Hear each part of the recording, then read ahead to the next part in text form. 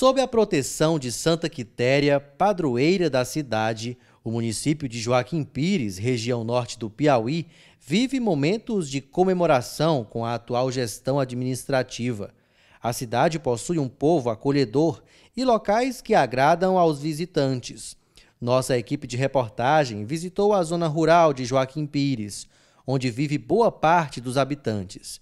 Aqui, a população foi beneficiada em diversas áreas.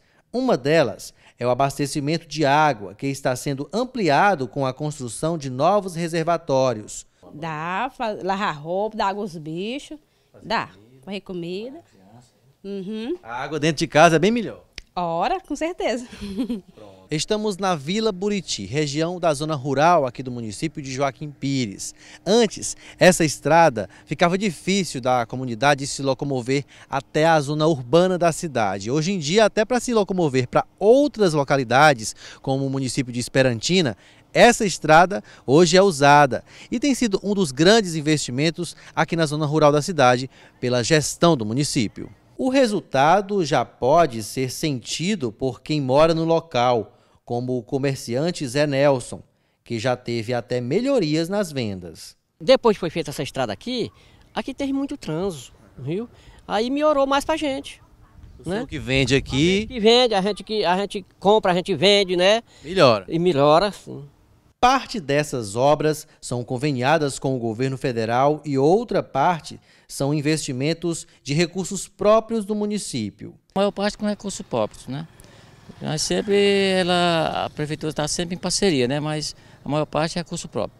No assentamento Vila Souvenir, uma UBS, Unidade Básica de Saúde, está prontinha para ser inaugurada e deve atender cerca de 150 famílias. Vai ser bom porque vai ter médico aqui direto, coisa que nunca é pertinho de casa e é, é vida da gente ir para a cidade, porque nem todo, nem todo mundo tem um transporte para ir, né? E sendo aqui? E sendo aqui, a gente, até caminhando a gente vem.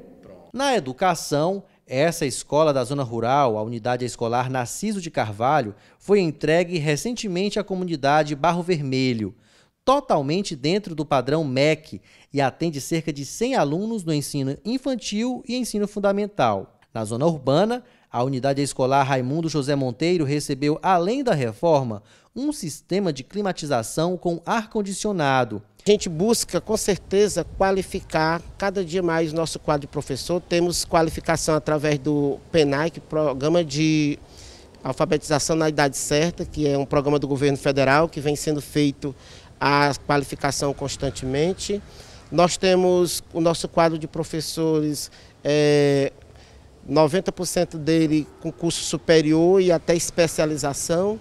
E o município se esforça e vem pagando um salário acima do piso nacional. A prefeita de Joaquim Pires, Regina Ramos, tem buscado, da melhor forma, fazer uma administração clara e objetiva. Hoje nós temos bastantes comunidades já com, com abastecimento de água. Melhor dizendo, quase fechando a zona rural com abastecimento de água. E recuperação de estrada a gente vem fazendo constantemente, principalmente no período do verão, que a gente sabe que o município tem uma área de extensão muito grande, 729 mil quilômetros quadrados, nós temos aqui a nossa área do município.